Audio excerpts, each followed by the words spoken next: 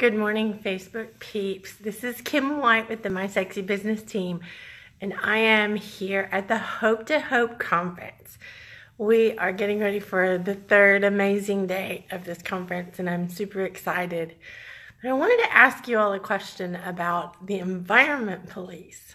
Are you part of the, you know, the brotherhood or the sisterhood of the environment police? Our environment matters. Our environment changes things. Our environment affects and impacts what it is that we do.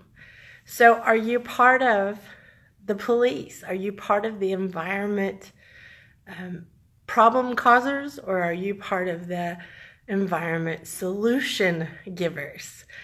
I think that a lot of entrepreneurs fall into the trap because we work at home or we work on the road and we get um, lax in trying to make sure our environment is conducive to business.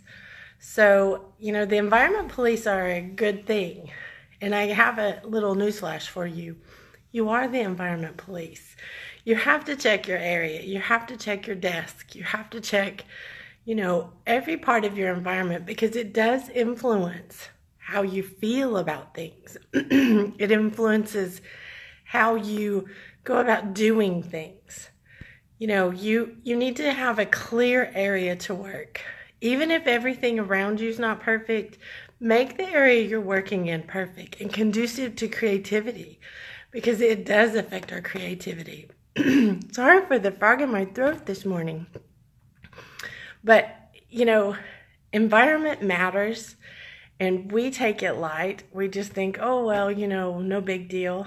But if you'll take just five minutes and clean up your area where you're working, you'll find out you're more productive.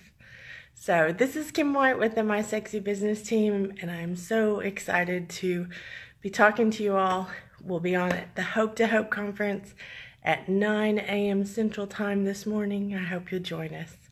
Bye. Have a great day.